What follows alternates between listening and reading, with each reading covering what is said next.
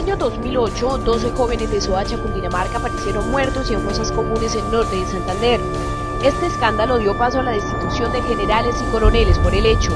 Uno de ellos, el coronel en retiro Gabriel de Jesús Rincón Amado, quien recibió el pasado 10 de marzo la condena de 35 años de prisión por la muerte de un mototaxista. Mi nombre es María Magdalena Rico Argüello y soy de Cunday. Llegué aquí hace 31 años a Villa. Esto fue una toma de terreno nosotros vivíamos en el centro en unas situaciones infrahumanas, en un inquilinato, donde siempre teníamos la cocina, la estufa, la cama, todo en un solo sitio. Entonces por eso nos organizamos unas familias y decidimos tomarnos este terreno, que todavía está en conflicto, no sabemos de quién es. Eh, siempre hemos estado acá luchando por conseguir las cosas, los servicios, el agua fue un conflicto terrible todavía, eh, organizando las calles, pero por, propia, por propios recursos, por propio trabajo de nosotros, el alcalde ni el gobierno, nadie ha querido intervenir a prestarnos ayuda para acá, para tener este, esta situación. Pero sí pagamos impuestos. Acá el gobierno nos cobra impuestos por la vivienda, porque no sabemos la razón, todavía no la sé, y no le invierten al barrio. La plata que nosotros damos no nos la devuelven. No, la presencia estatal en Soacha ha sido más bien mínima. Soacha es un municipio eh, con unas limitantes institucionales que hacen que su administración municipal pues no tenga la capacidad suficiente para atender y resolver los múltiples conflictos sociales. La presencia institucional se presenta desde la lógica militar, policiva, de restricción de derechos, pero también la lógica vertical de cooptación de las comunidades a través del de, eh, engrosamiento de redes clientelares y tercero redes pues de, de informalidad que son en últimas las que sostienen la economía del municipio donde hay un Estado fuerte en cuanto garantice los derechos de la ciudadanía, sino que se expresa única y exclusivamente en policía, en ejército, en organismos de inteligencia que poco hacen incluso para cumplir sus deberes que son inherentes, es decir, porque en el territorio pues, lastimosamente siguen habiendo organizaciones irregulares, el problema del microtráfico aumentado. Eh, mientras esta ecuación no se resuelva, pues los problemas estructurales de Soacha van a seguir acrecentándose y también pues obviamente las organizaciones y el delito pues seguirán aprovechando pues las redes de pobreza que están eh, presentes en el territorio. Pero mire que ese día yo le, yo le cogía la mano a Daniel porque el señor Pedro Gámez, para hablarlo directamente, que él fue a recogerlo a la casa, se asomó por la ventana y yo le decía, ay Daniel, usted se va a ir con ese señor. Dice, mami, tranquila, no es que él es el que me va a ayudar con el trabajo. ¿Quién era él, doña Gloria? Pues era un ex militar y pues él vivía allá en el barrio donde nosotros vivíamos. Dice, mami, ya está todo listo, yo solamente voy a ir a llevar la hoja de vida. Entonces eh, se arrodilló, yo le di la bendición y yo como que no lo soltaba de esa mano, era como una intuición de mamá, que parecía que era como la última vez que nos íbamos a ver. Dijo, mami, no te preocupes que yo voy a cumplir esa promesa y es lo que voy a hacer, de, voy a conseguir ese trabajo y para que no vuelvas a trasnochar, yo me hago cargo de, los, de, las, de las cosas de la casa y sin embargo ese momento fue tremendo porque pues imagínese, sin como que intuición de mamá que ya no, no lo iba a abrazar más. El papel de Gámez, de acuerdo con la sentencia, era escoger a los jóvenes que luego harían pasar como guerrilleros. Los trasladaba con falsas promesas de trabajo desde Soacha a la ciudad de Ocaña. Allí los disfrazaban con camuflados, los torturaban antes de asesinarlos y finalmente los desaparecían. El viernes a las once y media de la mañana, antes de, que a él lo mataran. Llamó a mi, a mi hija, dijo, Daniel dice que hablaba como una voz entrecortada, como cuando uno está cansado. Le digo a mi hija, eh, no, no Angie, si usted supiera, no puedo, no puedo. Dile a mi mamá que yo la quiero mucho y que no le voy a poder cumplir lo que yo le prometí. Eso pasó el viernes a las once y media de la mañana. El sábado llega Pedro Gámez a las 8 de la mañana a la casa y golpeó y salió mi hija mayor. y dijo, oiga, que si está Daniel, ¿cómo es descarado este hombre sabiendo qué había hecho con Daniel? Vino a preguntarlo. Y entonces mi hija le contesta, dice, pero usted cómo es descarado, usted cómo viene a preguntar por mi hermano si viendo que usted fue el que se lo llevó. Y llegó y agachó la cabeza con una sonrisa de oreja a oreja, se volteó y se fue. Yo duré ocho meses buscando a Daniel y así pasó el tiempo. Después nos habíamos conocido con otras vecinas que también se le llevaron a otros muchachos. Este cabo bogotano que entró a la milicia ganándose un millón de pesos decidió gritarle a la justicia desde el año 2007 que varios coroneles de la República se aliaban con paramilitares para asesinar civiles y vestirlos de guerrilleros. Habló con la cúpula del ejército, con el ministro de Defensa de la época y con el propio expresidente Álvaro Uribe. También le contó su situación a Naciones Unidas. Pidió la baja, pero se la negaron. Si en el momento que yo comencé a denunciar en el 2007, si hubiera hecho algo, lo de Soacha no hubiera pasado. Eh, 4.000, 4.000, 4.500 personas inocentes que fueron asesinados a sangre fría por eh, personal del ejército colombiano eh, a lo largo y ancho del país entre el 2002 y el 2008, eh, simplemente con el propósito de inflar, incrementar las cifras de bajas en combate, dar una impresión falsa de éxito en la lucha contra las guerrillas. Esto durante la administración del presidente Uribe. Pero no solo eso, sino que eh, matando a estas personas inocentes, a las que se les, luego se, de matarlas se les vestía como si fueran eh, combatientes, es decir, guerrilleros, y se les colocaban las armas y ejecutados a sangre fría, y ni siquiera arrestados, sino que engañados con la oferta de un contrato, de un trabajo, eh, gente pobre, gente, gente muy humilde, eh, o personas que vivían en las calles, incluso hay casos de personas con, con deficiencias mentales serias. Su mentalidad era un, de un niño de 8 años que nunca pudo aprender a leer ni a escribir. Mi nombre es Luz Marina Bernal. Soy una madre de Soacha.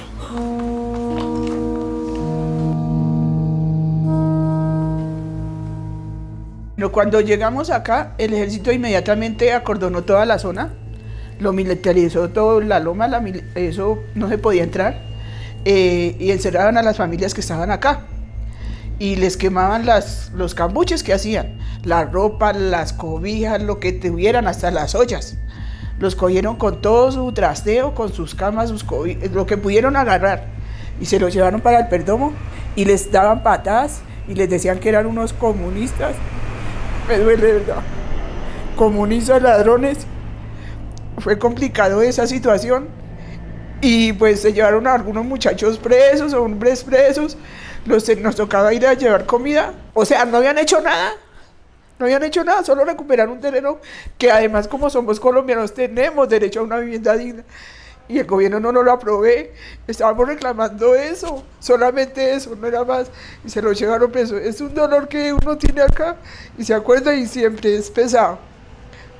Eh, salieron los muchachos, siguieron los atropellos. Una vez con un revólver amenazando a una señora acá. Ella pues, uno al final con el tiempo se le quita el miedo y le toca enfrentarse al, a la policía, al que sea, al ejército y pelear porque es que si no se hace así no logramos nada. Nos toca quitarnos el miedo, dejar el miedo a un lado y si nos toca morirnos pues nos vamos a morir. Pero tenemos que conseguir las cosas que necesitamos, es que no estamos pidiendo, no se pedía nada, solo la vivienda, una vivienda, un techo habemos muchos que todavía no acordamos de esos atropellos que se hicieron. Del conflicto bajó y de pronto también nosotros nos dejamos llevar por esa baja intensidad y eso es lo que les pido a mis soldados. Vamos a hacer un ejército inquebrantable, reentrenar todo mi ejército, ese ejército de los colombianos, reentrenarlo, que los soldados nuevamente encojan la dinámica de lo que estamos viviendo en el país. El conflicto armado colombiano tiene una connotación de clase y son los hijos de los trabajadores y los desamparados en Colombia los que engrosan las filas del ejército nacional y son los hijos de los campesinos pobres los que hacen parte de las filas de las organizaciones guerrilleras. Por tanto, es un conflicto entre hijos de los pobres de Colombia que beneficia a unas élites que han hecho de la guerra su negocio. Entonces, por eso es muy fácil encontrar en el sur de Bogotá eh, los casos de reclutamiento forzado, las ejecuciones extrajudiciales falsos positivos, el asentamiento de grupos armados irregulares, etcétera. Pero en el norte de la ciudad, donde están los hijos de las élites, pues en efecto allí no hay militares haciendo batidas y reclutando a los jóvenes a medianoche. Entonces es importante tener la connotación de clase para entender estas dinámicas de segregación de la juventud y su aprovechamiento para la guerra. Eh, sin, sin entender esto es difícil comprender pues los alcances del conflicto en Colombia. Presento a la familia de Popeye nuestras sentidas condolencias. O sea, hoy ha muerto un colombiano. Haya pasado en su vida lo que haya pasado, el Ejército Nacional, en cabeza de su comandante del Ejército, que estuve también comprometido en la lucha contra el narcotráfico en ese año 93. Decirle que lamentamos mucho la partida de Popeye. Yo siempre tenía la esperanza de que Daniel estaba vivo. Y sí, efectivamente mis hijas comentaron de que ya les habían llamado y que Daniel estaba en Ocaña, enterrado como un NN. Pero en ningún momento yo pensé que había pasado, que el ejército era que había hecho esa, esas cosas. Integrantes del ejército engañaron y reclutaron con falsas promesas a jóvenes para luego asesinarlos y presentarlos como guerrilleros dados de baja en combate. He estado en un batallón hablando con personas que están detenidas por haber cometido falsos positivos, por haber denunciado el armamento, un armamento que se dice comprado, un armamento en el cual se sacaban facturas para colocarle este armamento a los chicos y hacerlos pasar como falsos positivos un armamento en el cual se paga muchísima plata cuando en realidad esa plata no la pagan. Cuando en realidad ese armamento es el armamento que se le quita a la guerrilla. Es una plata que va para el bolsillo de los grandes. Esto me dolió porque lo escuché de un alto mando que está detenido. Un alto mando que se atrevió a hablarnos hace poco que pagaban millón quinientos por cada uno, les daban ascenso, vacaciones y todo eso. Pero eso lo supe fue con los días de que ya encontré amigos, porque quién iba a imaginar que había sido el ejército que los había matado, no sabía. Que todavía ya hay más niños enterrados. De pronto sus mamás ni siquiera saben dónde están esos muchachos ni nada. Entonces nosotros lo que estamos haciendo ahorita es invitando a más madres, a más eh, familias de víctimas que le, no han querido denunciar. El reclutador de los jóvenes, es decir, quien los llevó a la muerte bajo engaños, identificado como Pedro Antonio Gámez Díaz, fue condenado a 39 años de prisión. Era un tema muy cínico, muy bajo y en ese orden, solo por unos permisos, por una simple recompensa, eh, provocaban la muerte de unos jóvenes y en las cosas que lo dejan a uno aterrados de este tema, ¿no? es que, por ejemplo, estuvieron involucradas 33 brigadas del ejército. Esto no fue ni un policía, ni dos soldados, ni 16 soldados, ni 17 soldados. Fue una máquina criminal montada desde adentro de las fuerzas militares con la finalidad de aumentar el conteo de cuerpos, mostrando así supuestos resultados en la política de seguridad democrática. Mi hermano, usted lo que tiene que hacer es vaya, saque unos tipos del anfiteatro, unifórmelos y preséntelos como resultado. Un año después, en 2006, el coronel Rincón fue trasladado a la Brigada Móvil número 15 con sede en Ocaña, norte de Santander, como oficial de operaciones. Allí entendió que los falsos positivos eran necesarios para que no le llamaran la atención por resultados operacionales. Cuando el señor está abriendo, yo le meto una patada a la puerta, la forzo, la abro Inmediatamente veo al señor, yo le disparo. Según el soldado, el campesino fue sacado de su casa y vestido como guerrillero por el propio teniente Flores. Él y sus compañeros fueron premiados por el falso positivo. Sabíamos que si esa persona en ese momento se encontraba sin vida, eso iba a ser un meritorio permiso para la unidad. La unidad saldría de permiso 15 días. Nosotras, las madres, hermanas y esposas de los falsos positivos de Suacha, estamos trabajando, estamos haciendo una unión de dolores. Esto no es una unión de saberes. El pasado 27 de febrero, Human Rights Watch reveló un listado de los nuevos comandantes del ejército nombrados por el gobierno Duque que estarían implicados en casos de falsos positivos y otros abusos.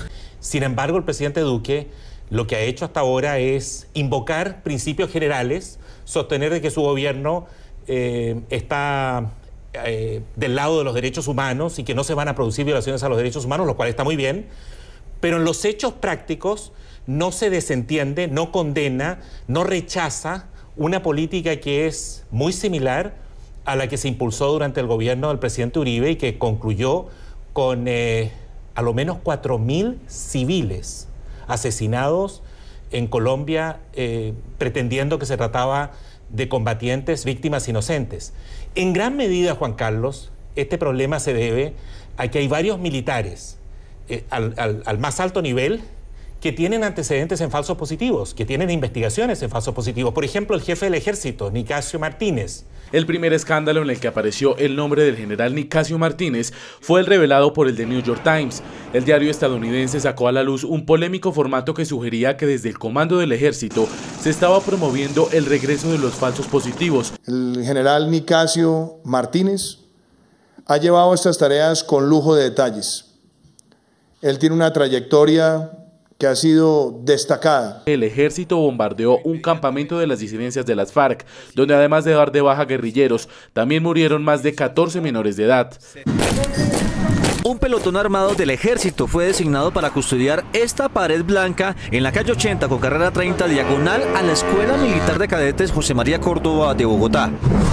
Debajo de la pintura blanca, un grupo de jóvenes de 11 organizaciones sociales dibujaron los generales investigados por los denominados falsos positivos como parte de una campaña para hacer visible crímenes de Estado que están siendo documentados ante la Jurisdicción Especial de Paz. El mural, que estaba casi terminado por los jóvenes, tenía el número de los casos de falsos positivos que se han presentado en Colombia y abajo los rostros de los altos oficiales del ejército con el número de casos supuestamente atribuidos a esos generales. Sin embargo, el muro no quedó terminado porque entre un grupo de policías y de militares frenaron la obra y con baldes de pintura blanca empezaron a tapar rápidamente los rostros de sus generales.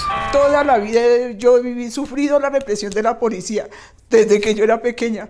A mis hermanos se los llevaban presos sin tener ninguna causa. Entonces yo he sentido eso. No es necesario, no es necesario tanto ejército, tanta policía, tanta gastadera de plata. Yo pienso que la guerra es una manera eh, se la inventaron para la corrupción, para lavar plata, para justificar las riquezas de muchos ricos. Y seguimos acá igual de pobres a nosotros, ¿para qué nos sirve el ejército? ¿Y para qué nos sirve la policía?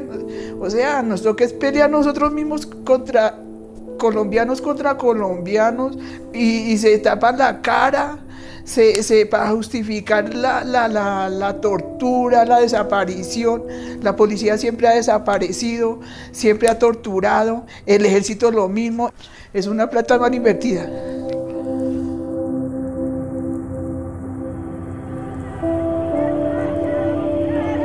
Cuando se disponían a confrontar a Santos por su supuesta responsabilidad en los crímenes de los jóvenes asesinados por el ejército, las madres fueron amedrentadas.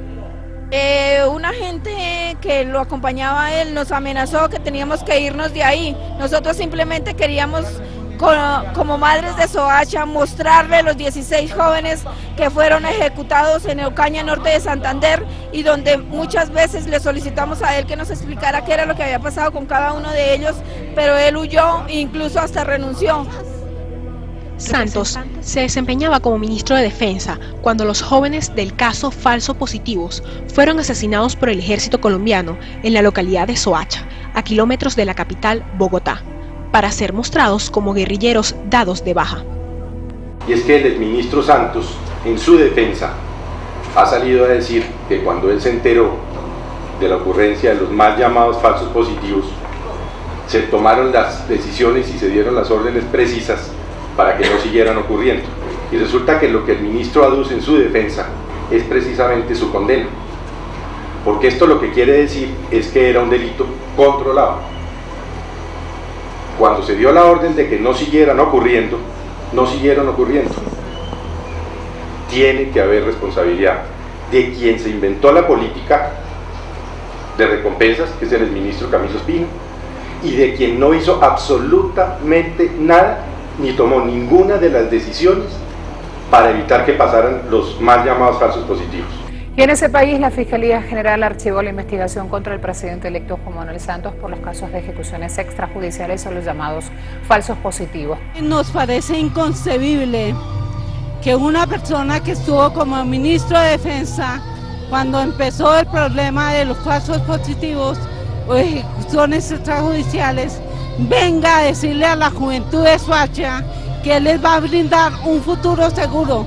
¿Cuál futuro? ¿El de las fosas? Soy madre de Jaime Steven Valencia Sanabria, un niño de tan solo 16 años que con engaño fuera llevado a Ocaña Norte, Santander. Allí la Brigada Móvil 15 del Ejército lo asesinó. No es solamente por los 18, 19 muchachos de Suacha, no. Mi lucha es por más de 10.700 crímenes de lesa humanidad que se encuentran en la total impunidad. Los tenemos en todo el país. Entre los años 2002 y 2010, según la Fiscalía, hubo 5.700 asesinatos que las fuerzas militares presentaron como muertos en combate. Son las madres de Soacha, mujeres colombianas que recorren el mundo representando Antígonas, Tribunal de Mujeres, la tragedia de Sófocles, siempre actual. Exigimos justicia por nuestros hijos asesinados en el operativo de los mal llamados falsos positivos. Mi nombre es Luz Marina Bernal Parra, madre de Fair Leonardo Porras Bernal, joven de 26 años de educación especial, eh, desaparecido el 8 de enero del 2008 por el Ejército Nacional de Colombia, asesinado el 12 de enero del 2008 en Ocaña Norte de Santander por la Brigada Móvil 15.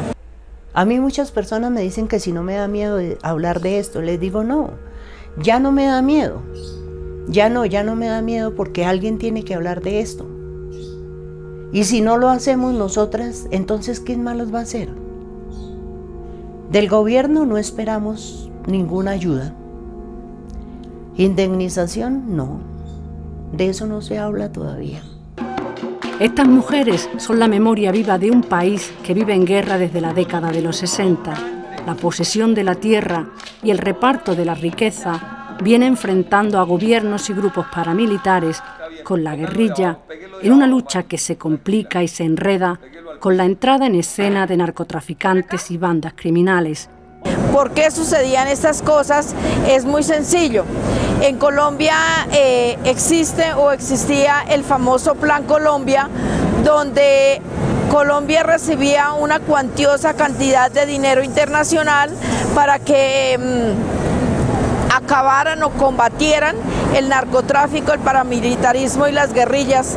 Pero como en Colombia no habían enfrentamientos en el gobierno de Álvaro Uribe Vélez, se gestó de coger a los jóvenes de bajos recursos y presentarlos como bajas legales en combate, no solamente con los jóvenes eh, de los barrios aledaños a las ciudades, se inicia con gente campesina, gente afro, gente raizal, palenquera y de esta manera eh, empezaron a presentarse en grandes resultados de parte de muchas de las brigadas a lo largo y ancho del país hasta que llegaron al municipio de Soacha y allí en un comienzo se llevaron 16 chicos, pero realmente el monto del caso Soacha es una aproximación casi de 100 personas. Violencia sin pausa que ha dejado más de 200.000 muertos. Las madres de Soacha representan el valor, el valor de un símbolo.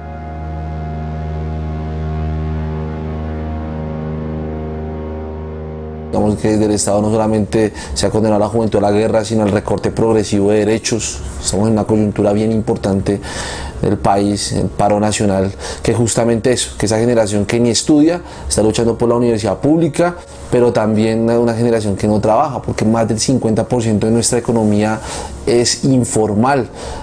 Lastimosamente este país está en manos de un sector terrateniente improductivo y de un capital financiero que no reinvierte sus multimillonarias ganancias en el país y que por ello ha condenado a nuestra juventud a la informalidad y la precariedad. Entonces, obviamente, eh, la guerra se presenta como una oportunidad para ascender y escalar socialmente y pues alrededor de la guerra pues hay unas economías tanto legales como ilegales que subsisten, pero mientras estemos condenados a la guerra por un lado, a la corrupción y al saqueo del Estado por parte de las mismas élites, es muy difícil que nuestro país pueda avanzar. Febrero del 2011, Raúl Carvajal, de 63 años, estacionó su camión modelo 73 en la Plaza de Bolívar y expuso sobre el capó el cadáver de su hijo. ¿Usted quisiera contarnos un poco quién era su hijo? Pues eh, mi hijo era un suboficial del ejército que tuvo que irse a pagar el servicio militar porque pues no tenía trabajo, no yo no tenía para darle estudio. Me llamó el 20 de septiembre de 2006, me dijo esto aquí está muy feo. A mí me mandaron a matar dos muchachos para hacerlos pasar como guerrillero muerto en combate y yo no los quise matar. Yo me voy a retirar. Según el señor Carvajal, ese hijo que exponía en público era uno de esos buenos militares que se había opuesto a participar en este sangriento crimen de matar gente inocente y hacerla pasar por guerrilleros. Según él, sus compañeros lo asesinaron por eso. Y llamaron a mi casa que lo habían matado en el batallón, en, en el Tarra, en un combate. No lo mataron en ningún combate, eso fue un, supuesto combate que hicieron. Me dijeron que no lo iban a entregar porque ellos querían desaparecer los restos. Entonces yo, yo comencé a reclamar a que, que, tal, que no sé, y fui, me enojé en el batallón. Al último dijeron que sí me lo iban a entregar. Como a los tres días me lo llevaron allá, pero estaba señales de estar torturado, de estar eh, amarrado de pies y manos y estaba torturado. La particular manifestación de este padre adolorido duró poco, pues las autoridades trasladaron el cuerpo a medicina legal y el camión a un solar lejos de la plaza. Sin embargo, Carvajal siguió allí y se encontró con el ya expresidente Álvaro Uribe. Ojalá le mataran un hijo a usted para que usted supiera lo que duele, lo que duele la muerte de un hijo, cuando un hijo es bueno. Pero ustedes son unos asesinos. Porque si ustedes no tuvieran que ver con el asesinato de mi hijo, esto hubiera pasado. Ustedes hubieran dejado que se investigara. Y yo personalmente a usted le entregué una carta en la finca de Ubérrimo. ¿Sí o no se la entregué? En junio de 2009, la Fiscalía le imputó cargos por falsos positivos al coronel Álvaro Diego Tamayo, ex edecán del presidente Álvaro Uribe y comandante del batallón Santander con sede en Ocaña Norte de Santander, cuando fueron asesinados los 18 jóvenes de Soacha, Cundinamarca. Hoy, algunas madres de los jóvenes muertos se enteraron que hace un mes el coronel Tamayo quedó libre. Luego de la confesión de los militares implicados en la desaparición de su hermano y quienes lo hicieron pasar como guerrillero, Cecilia Arenas pudo cerrar uno de los capítulos más dolorosos de su vida. Mire, yo tengo familiares que son militares. Cuando sucedió esto, lo primero que ellos me decían era, ya, gordita, por favor, callada. No vaya a decir nada, el ejército es una institución demasiado grande y tú no te puedes meter con ellos ya los mataron, ya listo, así se quedó. Pero no, esa no es la lucha. La lucha es destapar todos estos crímenes que se encuentran en total impunidad y que siguen ocurriendo. Seguir mostrando cómo el ejército nos quiere encallar, cómo las grandes, nuestras grandes cabezas se quedan calladas. Y es la pregunta de nosotros. ¿Quién dio la orden?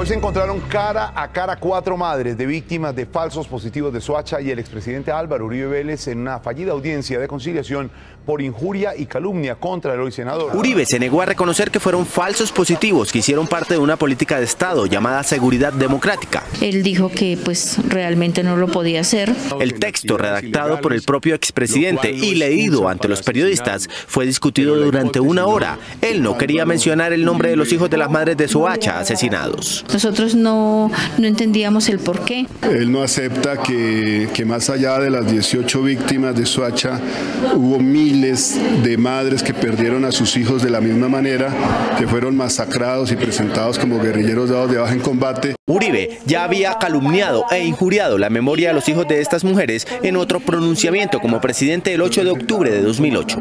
Los jóvenes desaparecidos de Soacha fueron dados de baja en combate. No fueron a recoger café, iban con propósitos delincuenciales, iban con propósitos delincuenciales, iban con propósitos delincuenciales.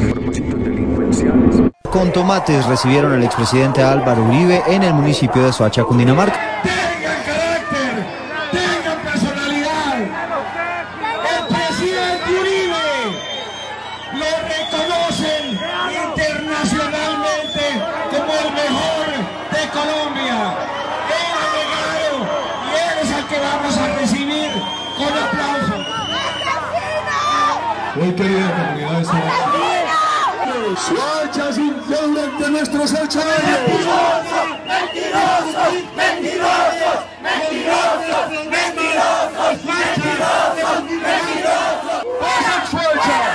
Ahora son amores y no buenas razones. Ahí están los responsables del reclutamiento y asesinato de menores. Vayan al Congreso. Gracias, comunidad.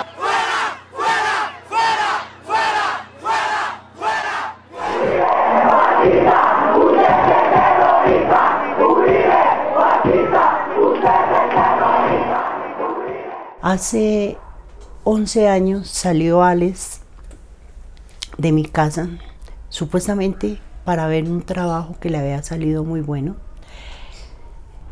Alex tristemente se lo llevaron no para un trabajo, sino para matarlo. Él me lo mataron en Florida Blanca, Santander. Fue un crimen confesado. Los militares confesaron su crimen. En realidad era cierto, la sangre tira. Y en este caso tiró muy duro. Logré sacar en limpio, logré mostrarle al mundo, a la familia y a la sociedad de que Alex no había sido ningún guerrillero. De que Alex fue una presa fácil para ellos poder presentar un positivo. Mi madre muere, no alcanzó a ver justicia y yo sigo en la lucha. Ellas son las madres de los mal llamados falsos positivos. Durante el 2008, el Ejército Nacional asesinó a sus hijos para luego presentarlos como falsos guerrilleros y así demostrarle al país que el ejército estaba ganando la guerra. Hoy, después de ocho años de lucha contra el olvido y de que el país firmara la paz, las madres solo se preguntan una cosa, si los crímenes de sus hijos continuarán en el olvido y de paso en la impunidad. Ante esto, las madres han decidido hacer lo que cualquier otro país hubiera hecho ante un crimen así. Decidieron crear un monumento, ubicado en el único lugar de Colombia donde les fue permitido construirlo, su propia piel.